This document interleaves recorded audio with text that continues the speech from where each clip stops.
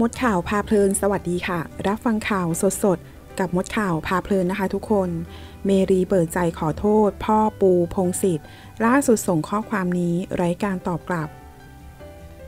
จากกรณีที่เมรีลูกสาวปูพงศิษฐ์ได้ออกมาเปิดใจเรื่องราวชีวิตตนเอง ที่กำลังตั้งครรภ์ได้ 3 เดือนแล้ว แต่ฝ่ายชายไม่รับ และขอตรวจ DNA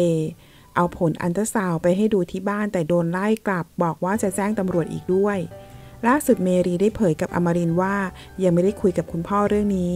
พ่อยังไม่ได้กลับบ้านเลย เขาทัวร์คอนเสิร์ตทุกวัน แต่หนูได้คุยกับคนรถของพ่อ ถามว่าพ่อเป็นยังไงบ้าง เขาบอกว่า พ่อยังไม่อยากพูดถึง โกรธแหละ ทางฝ่ายชายตอนที่เป็นข่าวก็โผล่หัวมาเลย มีการติดต่อเมย์ทันที ว่าอยากจะขอเบอร์พ่อเมย์ด้วย เมย์บอกคิดให้ดีก่อน เพราะตั้งแต่คบกันมา คุณยังไม่เคยทำได้ที่รับปากเลย ถ้าจะไปคุยกับพ่อเมย์ถ้าทำไม่ได้ตามที่รับปากมันเรื่องใหญ่นะ เหมือนเขาอยากจะรับผิดชอบอะไรอย่างนี้ แต่พอเมย์พูดประโยคนี้มันก็ไม่ขอเบอร์ต่อเลย ทางครอบครัวว่าอย่างไรบ้างพ่อยังไม่ทราบลึกๆว่าหนูโดนทำอะไรมาบ้าง แต่แม่เพิ่งจะทราบ แม่เขาก็ support วันนี้ออกไปซื้อชุดคลุมท้องให้เมย์ด้วย ส่วนพ่อก็คงจะเครียดเครียดกันทั้งคู่แหละ